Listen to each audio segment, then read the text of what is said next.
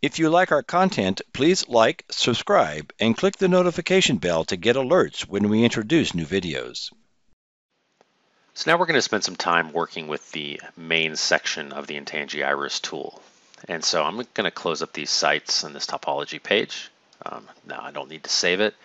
But this is what you're going to see when you first log into the tool. This is the main splash and start page. It's going to give you any information about the tool and the latest updates that have happened to it. And then over here on the left, we have a couple of options. We have a new system. What the new system is going to give us is the ability to create a system that has multiple sites if we need them and gives us all of the options that we have available to us. We can create a new system that's localized to a different area or whatever we need to do. The new Express system is a great way of just getting into it really quickly. If you already know what you want to create, it's pretty simple or it's very straightforward and you just need to get a bill of materials ready very quickly, that's the way to go.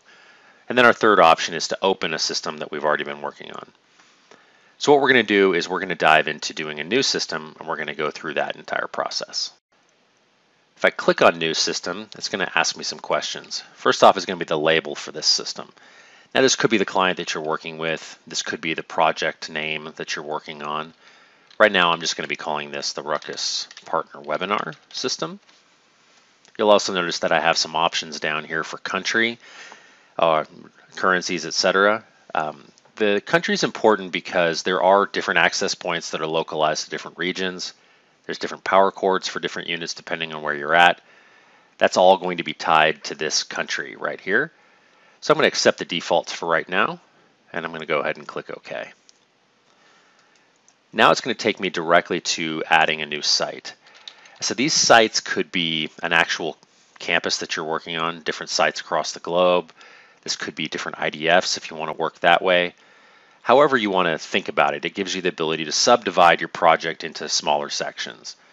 So I'm going to name this one Site 1, and I'm going to click OK. Now notice there are is some additional information here. You can fill this out if you'd like to. Um, it's not necessary, but if you have want to have that information for later use, that's a great way of doing it right there. I'm going to go ahead and click OK, and it's going to create this site for me here on the topology page. Notice that that's the page that I have highlighted here. If I want to create another site, for this example, let's do two sites. I can just right click and say new site. I'm going to call the second site site 2, and it's going to create that on that top this topology page for me. Now, if I want to dive into these specific sites, I can just double click on them and it's going to open that site in a new tab. Now before we move on, some of you are probably wondering why my interface looks a little bit different. When you first come in here, the default is to show world map. You can change that very easily at any time by right-clicking in the topology window and going to System Settings. Uh, down here uh, on the mapping, I have mine set to none. Um, the automatic is, this is probably what you see by default. Um, if you have this, if you right click and go to system settings, you can set the mapping to none, much like I have, if you don't want to see that.